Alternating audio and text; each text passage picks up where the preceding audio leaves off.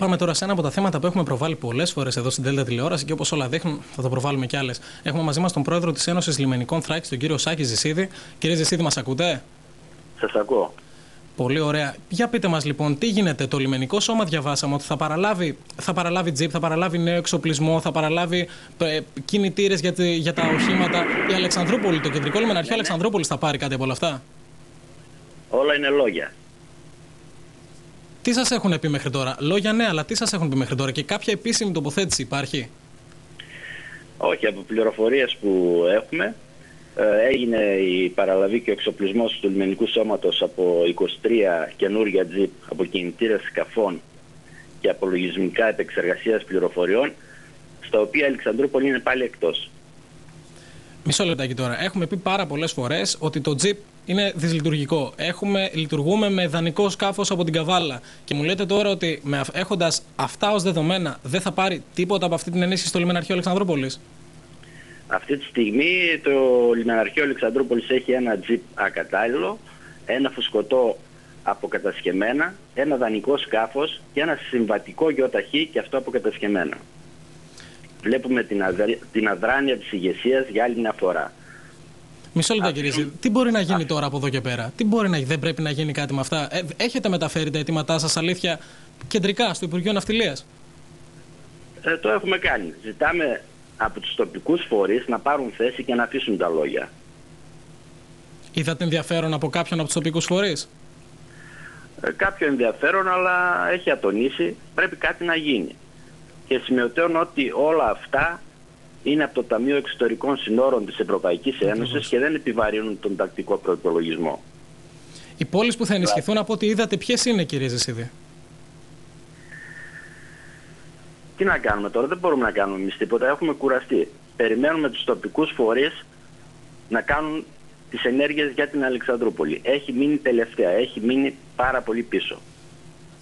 Να σας ρωτήσω το εξής. Αυτή τη στιγμή τα προβλήματα που αντιμετωπίζουν οι λιμενικοί, το κεντρικό λιμεναρχείο Αλεξανδρούπολης είναι πια, αν τα απαριθμίσουμε;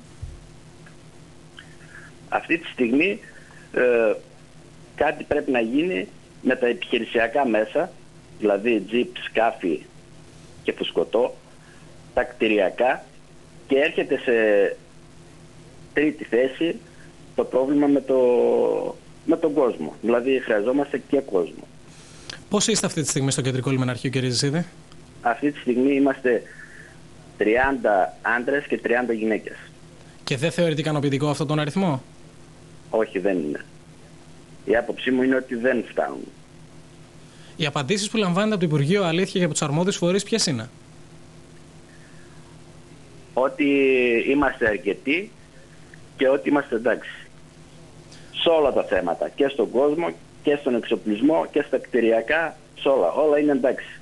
Αναφορικά τώρα με την ενίσχυση με τον εξοπλισμό, επίσημη απόφαση πότε θα ληφθεί η λίστα δηλαδή με το πού θα πάνε αυτά τα 23 τζιπ, πού θα πάνε οι κινητήρες, πού θα πάνε τα λογισμικά, πότε θα ληφθεί αυτή η απόφαση; Ε, για, τα 3, για τα 23 τζιπ ε, έχω μάθει ότι θα πάνε στην Παρμεθόριο εκτός από Αλεξανδρούπολη. Καλά, δε, σκοπεύετε να αντιδράσετε, γιατί μας έχετε μεταφέρει και σε εμάς εδώ, αλλά και έξω στον κόσμο παντού. Έχετε μεταφέρει πολλές φορές τα αιτήματά σας και έχετε πει ότι αντιμετωπίζετε μεγάλο πρόβλημα. Σκοπεύετε να κάνετε κάτι για να διεκδικήσετε μέρος από αυτά; Και όχι μόνο από τα τζιπ φυσικά, από όλες τις παροχές που θα δοθούν.